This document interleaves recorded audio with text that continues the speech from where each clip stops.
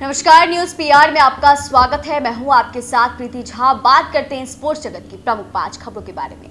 पहली खबर है, बीसीसीआई के अधिकारी ने किया confirm T twenty World Cup के बाद विराट कोहली की जगह भारतीय टी ट्वेंटी टीम के कप्तान भरेंगे रोहित शर्मा। जी हम आपको बता दें भारतीय क्रिकेट टीम के बल्लेबाज विराट कोहली जारी टी ट्वेंटी वर्ल्ड कप के बाद टी ट्वेंटी फॉर्मेट से कप्तानी छोड़ने वाले हैं। उनके इस फैसले से क्रिकेट जगत जो है वो हैरान रह गया था। इसके बाद लोगों के मन में यह सवाल था कि आखिर टी टीम इंडिया का नया टी ट्वेंटी कैप्टन कौन होगा? बीसीसीआई के एक अधिकारी ने यह बताया है कि लंबे समय से सीमित ओवरों में उपकप्तान रहे रोहित शर्मा को टी ट्वेंटी वर्ल्ड कप के बाद भारत का अगला टी ट्वेंटी कप्तान जो है बनाया जाएगा। बढ़ते हैं अगली खबर की ओर। यूएई में पहली बार टी मैच खेलेगा भारत। रवि शास्त्री बोले, चिंता ना करें आईपीएल का अनुभव हमारे काम आएगा। जी हाँ भारत का पुराना रिकॉर्ड जो भी हो, या उसके खिलाड़ी ने यूएई में टी इंटरनेशनल नहीं खेला हो। लेकिन मुख्य कोच रवि शास्त्री को ये लगता है कि भारतीय खिलाड़ी को आईपीएल में वहाँ खेलने का अनुभव काम आएगा। इसको लेकर उन्होंने कहा है कि आईपीएल से भारतीय खिलाड़ियों को तैयारी में काफ़ी ज़्यादा मदद मिली है, खास करके उन खिलाड़ियों को जो कि अपनी अपनी टीमों के लिए नियमित खेलते रहे हैं। खिलाड़ी पिछले दो महीने से आईपीएल खेल रहे हैं और इसलिए मुझे नहीं लगता है कि उन्हें बहुत अधिक तैयारी की आवश्यकता है। बढ़ते हैं अगली खबर की ओर। इंडियन प्रीमियर लीग में 2022 में दो नई टीमें जुड़ने जा रही हैं। इसका मतलब है कि आईपीएल के पंद्रहवें सीज़न से कुल 10 टीमें टूर्नामेंट में होगी। नई आईपीएल टीमों के लिए टेंडर लेने की समय सीमा जो है आज समाप्त हो रही है। लेकिन भारतीय क्रिकेट कंट्रोल बोर्ड नई टीमों की नीलामी को कुछ दिनों के लिए आगे बढ़ाने का विचार कर रहा है।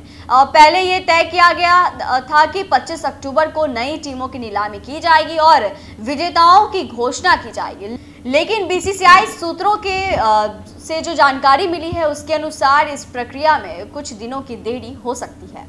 बढ़ते हैं अगली खबर की ओर। 2019 विश्व कप में पाकिस्तान के हारने पर रोने वाला फ़ैन एक बार फिर से इंडिया वर्सेस पाकिस्तान मैच के लिए तैयार कहा यह मैच जीतना ज़रूरी है। जी हाँ इंग्लैंड में 2019 वर्ल्ड कप के दौरान भारत के खिलाफ पाकिस्तान के हारने के बाद आपने अपने रिएक्शन को लेकर सुर्खियाँ बटोरने वाले पाकिस्तानी फ़ैन मोमिन शाकिब एक बार फिर चर्चा में हैं। इस बार उन्होंने मैच से पहले ही अपनी फीलिंग को बताया है। रविवार को होने वाले मैच से पहले मोमिन शाकिब ने सोशल मीडिया पर पोस्ट किए हैं और पोस्ट के ज़रिए वीडियो में कहा है कि क्या आप तैयार हैं जज्बात से भरपूर पाक भारत का मैच देखने के लिए। दो ही तो मैच है, एक तो भारत पाकिस्तान का मैच और दूसरा आमिर खान का लगान मूवी वाला।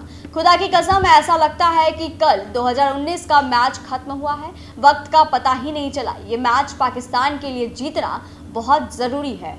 बढ़ते हैं अगली खबर की ओर। अफगानी स्टार रशीद खान ने इस टी ट्वेंटी वर्ल्ड कप को बताया स्पिनरों का विश्व कप।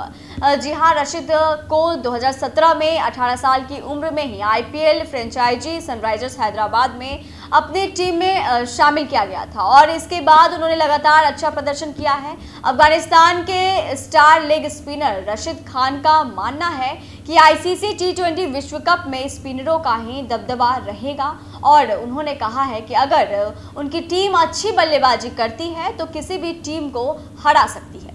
तो स्पोर्ट्स जगत में आज बस इतना ही। बाकी के खबरों के लिए देखते रहे न्यूज़ पीआर अगर आपने हमारे चैनल न्यूज़ पीआर को सब्सक्राइब नहीं किया है तो उसे जल्दी सब्सक्राइब कर दें।